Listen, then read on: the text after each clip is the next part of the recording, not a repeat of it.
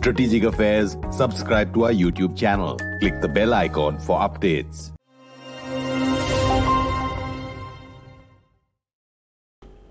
This is Strat News Global. I'm Amitabh Revi, and on the gist today, we're looking at the national security advisors of the Shanghai Cooperation Organization group meeting in Dushanbe.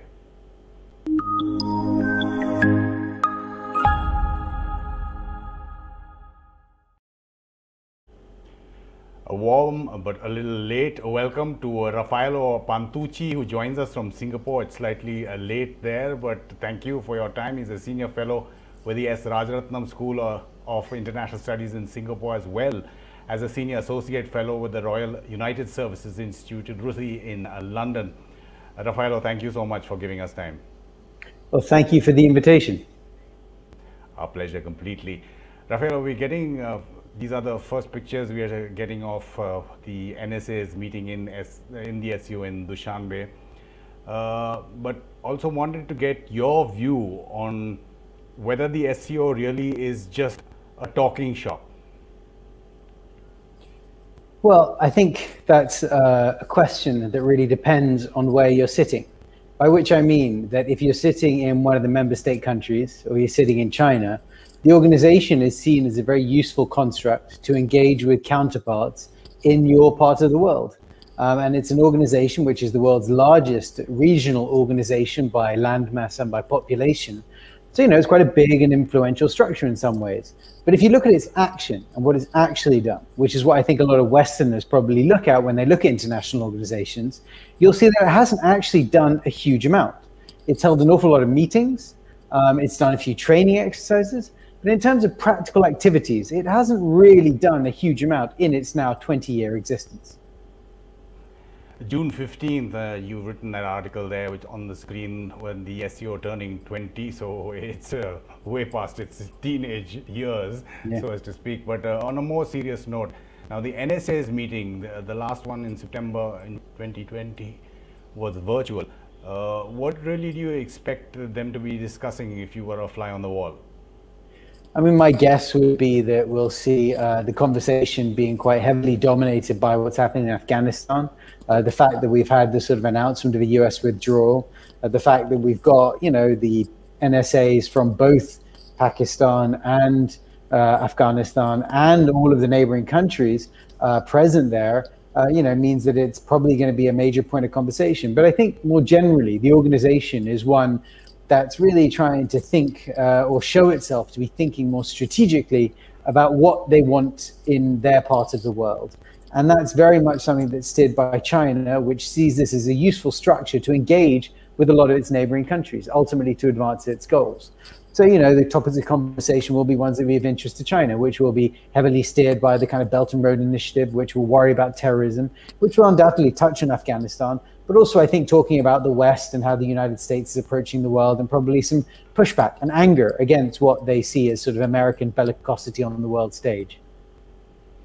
Uh, you have done a lot of work on this. Uh, could you elaborate on what are China's motives for uh, the SCO? Is it looking at its gateway? You mentioned the BRI, but uh, to Central Asia, why did China be a founder member of the SCO? So China, you know, founded the Shanghai Cooperation Organization, and it was formally created in 2001. But it came from a creation that goes back to 1996, which is called the Shanghai Five, which is a grouping that was created in the wake of the Cold War as the Soviet Union fell apart and China discovered that it was suddenly neighbor to four new countries Russia, Kazakhstan, Kyrgyzstan, and Tajikistan. Um, these all used to be part of the Soviet Union. Um, and then suddenly one day, you know, in 91, when the Soviet Union fell apart, they became four separate countries.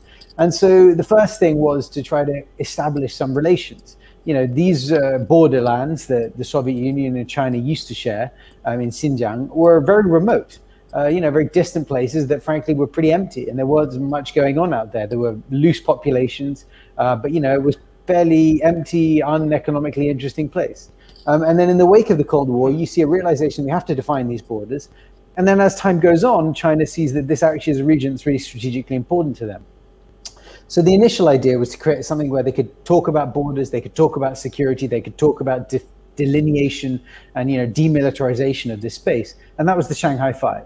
And then in 2001, Uzbekistan joined. It becomes the Shanghai Cooperation Organization because Uzbekistan doesn't share a border with China.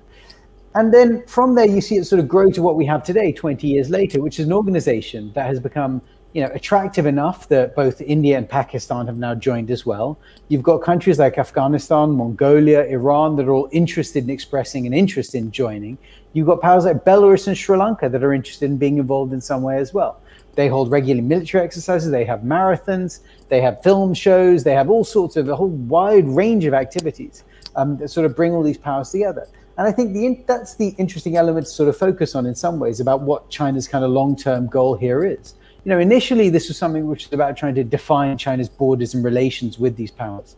But then over time, you know, this expands uh, to try to understand how China's economic relationship with these powers will play out. Um, and China's been very big about trying to push economic initiatives through uh, the Shanghai Cooperation Organization as well, but they've never quite taken off. Um, but what we've also seen is that China's used this as a way to kind of normalize its position of influence and power in, uh, you know, its own Eurasian backyard. And I think the key thing that we have to remember here, which is that China gives this organization a lot of respect. You know, Xi Jinping, the leader of the country, or you know, his predecessor, uh, you know, uh, Hu Jintao, or his predecessor Jiang Zemin, you know, they used to attend every single meeting of the SCO. You know, and all their ministers would attend the relevant meetings as well. And this means that China's got an opportunity to talk and engage with all of these neighbors at a very senior level on a regular basis. And it has a structure with which to do that and really sort of expand its relations as an influence with this part of the world. Yeah. So I think from a long term perspective, this is really about China normalizing its position of influence and power in its Eurasian backyard. Well, considering a lot of our viewers are very interested in uh, how India and Pakistan's equation will work in the years mm. of this time, we, uh, this is the statement from the last virtual meeting when uh, Ajit Doval, the NSA, actually walked out because Pakistan presented uh, its uh, map of uh, the occupied region in Pakistan occupied Kashmir and there was a walkout there. SCO is not supposed to look at bilateral uh, relations, right? How does it work when you know you have India, which has two adversaries, you can call them that, China, uh, China and Pakistan, and the whole Central Asian groups as well. Uh, you, you were talking about the observers, where there's Afghanistan, there's Iran, I think there's even uh, other South Asian regions. But how does the bilateral angle work there, Raffaello?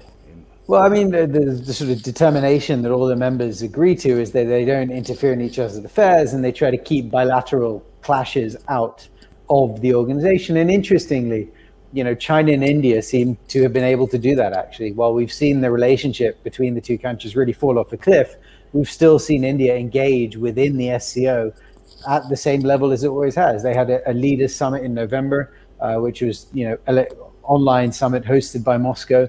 Uh, you know, President Modi was there and gave a speech. Uh, President, you know, Prime Minister Khan was there as well. He gave a speech. You know, so they continued to sort of engage, and they try to usually keep these things out of the mix. Um, and it's sort of an agreement between them all. But you know, this is always one of the big questions that people had when India and Pakistan joined, because all of the other members do have issues and clashes and problems as well. But none of them are quite as sort of contentious in some ways as you know um, Pakistan and India's, and everyone wondered whether they'd be able to keep it out. And actually, what I would say is it's quite interesting that they have managed to keep it out until now. Um, and we've seen only sort of light spats or disagreements like the one that you mentioned uh, with Mr. Doval during the last meeting. And in fact, uh, it was on the sidelines of the SCO summit in um, the foreign ministers and defense ministers in Moscow, where mm. India and China's foreign minister and defense ministers had their first uh, talk after what had happened last year in uh, Galwan in Ladakh. Uh, uh, when you talk about one of uh, the pillars, if I can call it that, of the SCO, which is counterterrorism, which should uh, uh, involve, I mean, everybody would want to partake in that, though there's some issue there. RATS, when you talk about, uh, it's an unfortunate acronym possibly, but the regional uh, anti-terrorist structure. Now that's mm. something which could again ha have a bilateral issue because an exercise is planned in Pakistan, right, uh, soon. Yes, I mean, look, uh, you know, RATS, it's, it's a really unfortunate acronym. And I once had a meeting with some uh, diplomats involved in, in the creation of the SCO. And you know, one of them, I won't name the country, you know, so, well, this is the problem where you don't have any native English speakers in the room. You know, no one paid attention, no one noticed that the acronym in English was quite an awkward one. But, you know, joking apart, counterterrorism is, is kind of a useful uh, issue in many ways for people to rally around because, you know, we can all generally say terrorists are a bad thing. And so, so then the problem comes down to what do you characterize as a terrorist? And of course, that definition varies from country to country. And when you talk about India Pakistan, of course, it does become very contentious. But you know, I think the, the, the key element that they try to focus on within the SCO, and this is what's quite interesting in some ways about it as an international organization, is that they do the, the sort of the gravity, uh, this the, the, the centrifugal force carrying the organization forwards to continue to exist and continue to engage means that all the powers seem willing to overlook some of these issues. And while they do occasionally have spats, the overriding impetus always is, well, let's just keep attending, keep participating, and keep engaging. And within that context, you know, counterterrorism is kind of an issue that they all broadly can agree is something that they want to kind of do. And when, when they talk about doing military exercise together, you know, if you do a military exercise, uh, you know, involving, you know, fighting against a country, well, then you need a scenario, and your scenario has to be against someone. And then by saying you're against someone, you've kind of defined who your enemy is, and that creates all sorts of problems. If instead your military exercises are all counterterrorism exercises, well, you kind of can define it very differently, and it makes it much easier for everyone to participate. Mm. Beg your pardon. Well, again, uh, uh, I'm going to bring up a bilateral issue. India and Pakistan. Uh, there's been a lot of reporting on. There have been back channels that have been opened. You know, the ceasefire is now uh, being uh, upheld on both sides of the line of control.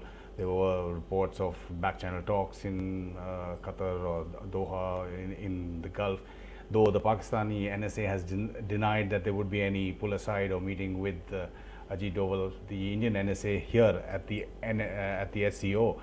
Uh, does this give an opportunity, especially because of the NSA meet, which is the SCO anyway? You know, getting information is is so difficult. But when the NSAs meet, uh, there's even more of a drip drab information. Does it give it an opportunity for things that you can't really uh, talk about to be done at a forum like this? Yes, I mean, absolutely. I think that's all of these kind of big international forums. Th this is the key part, which really is why people attend and why it's interesting. You know, going to these big meetings, the part that the public gets to see of just, you know, watching an event with, you know, a long speech and another long speech and then a couple of questions, you know, that's not really why these people attend. They attend because they know that when they're there, they know that their counterparts from a whole series of other countries will be there at the same time. And so they can have a whole series of engagements like that, which otherwise might be quite difficult to coordinate.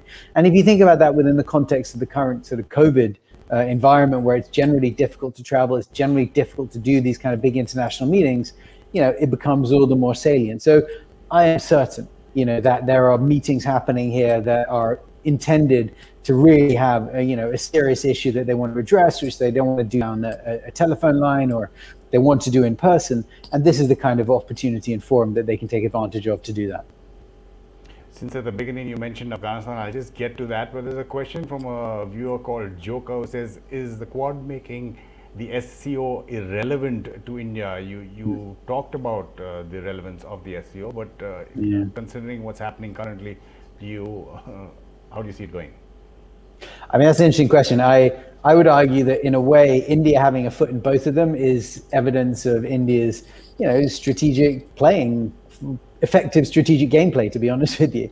Because, you know, by remaining with a foot in kind of both camps, uh, which essentially is what India is doing by doing, by engaging with the Quad, it's a way of, you know, you, you keep your options open. And that's really what international diplomacy should be about. You know, it's about keeping your options open, keeping opportunities there for your country to advance its national interests. So on the one hand, India engages in the Quad. It shows it's part of this big push that the Americans are doing to contain China. But on the other hand, by engaging in the SCO, you're demonstrating that you're keeping your door open with China, uh, which is, of course, something that India is always going to have to do because, you know, China sits on your border. So I would argue that that's evidence of quite canny strategic gameplay by the Indians that they're able to continue to engage in both of these parties a more cynical person would say this is evidence of Indian schizophrenia, in the sense that there's an ability to kind of maintain a, a, focus and attention on one or the other. But I actually think of it as quite a, a clever and sensible thing to do. Rakesh Kalania asked, since we were talking, I said we'll go to Afghanistan. What will be the role of the SCO going forward in Afghanistan in the light of the American mm-hmm. exit? Should India work with the SCO in Afghanistan? There have been so many developments. The Tajik border, the Taliban reportedly has yeah. uh, taken over. Uh, Khalilzad was in Central Asia. Uh, they talk about bases, which the Pakistanis say they will not give. Uh, the Americans yeah. are talking about over the horizon counterterrorism and even counterinsurgency, which is interesting. But SCO, how does that fit in, Raffaello? Look, I mean, the SCO has been talking about Afghanistan since it was created. If you go back and look at the kind of uh, the the founding session in 2001, they had this big event on the in Shanghai at uh, I think it was at the the, the Heping Jiudian, the, the Peace Hotel, you know, and at that, and you go back and look at the speeches that leaders gave, a lot of them quite specifically referred to Afghanistan as a problem. You know, and at the time, Afghanistan, this was just before 9 11. This was June 2001. So, you know, three months before we saw the September 11th attacks and then everything that followed that. You know, they're all, this was a country ruled by the Taliban. You'd had attacks in Kyrgyzstan over the past two summers where you'd had, you know, armed groups come across the border. You'd had the civil war in Tajikistan. You'd had bombs in Tashkent. You'd had, you know, events in Xinjiang. You know, there was all sorts of problems, and a lot of them had ties back to Afghanistan. So the organization has been talking about Afghanistan since its genesis, and yet it's done absolutely nothing. they created something called the, the SCO Afghanistan Contact Group um, back in 2012 um, or 2006, sorry, and then in 2012 they created something uh, they brought Afghanistan as an observer member, and there's been a lot of hope, and a lot of this hope has been driven by Beijing, who's actually wanted the SCO to do more in Afghanistan. But a lot of the other members, frankly, haven't wanted that because they want to maintain whatever they're doing in Afghanistan on a bilateral level, and so they've kind of held it up. And so, you know, in my mind, and I think in most people's minds, when you look at the SCO, so this is an organization, you know, its members surround Afghanistan, its observer members and dialogue partners completely engulf Afghanistan. So why wouldn't it be focused on this country, which they're all very worried about? Um, but yet it doesn't seem to have ever been able to do it. And the final point I'd add on this is that you know I think Chinese frustration uh, in the SCO's ability to actually deliver something. The clearest articulation you can see of it was in 2016. Uh, the Chinese created a kind of a new minilateral grouping called the Quadrilateral Coordination Cooperation Mechanism, which brought together the chiefs of army staff of oh, Afghanistan, yeah. Pakistan, Tajikistan, and China. And this was an organization to essentially talk about how to manage the Wakhan corridor. And you know, there's no reason why that couldn't have been done within the SCO structure, except for the fact that the SEO just couldn't deal with it because there's too much hostility from the various partners to actually want to put Afghanistan in there. They want to all handle it in a slightly different way. So, you know, logically yes, but practically I, I don't really see it unfortunately happening. And again, it's a bilateral issue, but uh, Matara asks, uh, uh, what would be your advice for India vis-a-vis the Ladakh situation with China? I mean, you have top uh, officials, the NSA, so the security advisor from uh, China, Uh, present at the SCO. Do you think uh, some movement, uh, talk, at least discussion would could possibly take place? It gives them the opportunity. I mean, I'm certain it will come up in the conversations. I, I can't imagine that they can meet and not at least mention these things, uh, given the level of violence that we saw last year. So, you know, I, I think it, I think it'll definitely be on the conversation. But I think what's also increasingly clear is that there does seem to be an unwillingness. Um, and I'm, I honestly am not sure who's totally uh, to blame for this because both sides have different versions of the story, and it's very difficult to know. Um, you know, but it seems as though the general kind of uncertainty that exists on the border, which is the root of the clashes that we see. Um, it does seem to be a sort of modus vivendi that both sides seem happy to live with. Um, and I think just the high level of tensions also seems to be something that both sides seem to have accepted as the reality. So I'm sure we'll have discussion about it, but I don't expect any resolution. So 20 years hence, do you see yourself writing another article on uh, the SCO at 40? I mean, will it be relevant? How do you see it? I mean, yes, I think the I, I see no reason why the SCO wouldn't continue to go on.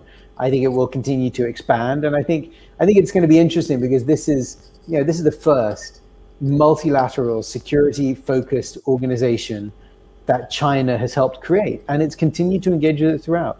And it's you know it, it sits in the middle. Its heartland is in the middle of the Eurasian landmass, and it does control or does have sway over a very large piece of territory, and China's been building through it stronger and stronger relations. And I would argue that you know the whole Belt and Road as a concept really starts in the discussion around the SCO. And so, you know, in so much as the BRI has now been enshrined in the kind of Chinese constitution, and this is a big vision going forwards, and this is China's foreign policy, um, I think the SCO kind of is an articulation of that. And so I think as long as you've got the current regime in power in, in China, um, you're going to have kind of BRI, and I think you're going to have the SCO as well. And I think it really will continue to be an organization which will grow and uh, you know and, and, strengthen in ways that I think will surprise probably Western observers who will expect it to develop in a different way to the way that it actually will develop. Um, so I think it's going to organization continue to exist and continue to have influence over its territory um, in, an interesting way and in a way, frankly, that China wants. In a way that China wants. Raffaello Pantucci, thank you so much for giving us your valuable time on Strat News Global. Thank you again for the invitation. Our pleasure. It's a reminder to our viewers, do uh, subscribe to our YouTube channel and hit that uh, bell icon. You'll get reminders for when we put videos up like this one. You can help us uh, or support us financially also if you like the kind of journalism we're doing. The descriptor is given, uh, the uh, link is given in the descriptor of uh, this YouTube video. Do also follow our social media handles on Twitter, Facebook and Instagram for the latest news and strategic analysis from an Indian point of view. You've been watching The Gist on Strat News Global. I'm Amitabh Revi.